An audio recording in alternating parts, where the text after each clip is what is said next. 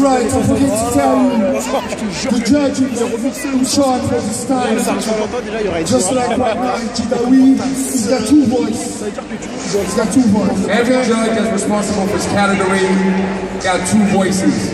All right, so then you understand about the results. Okay, Judges, à la une, la deux, Deux, à la à la trois.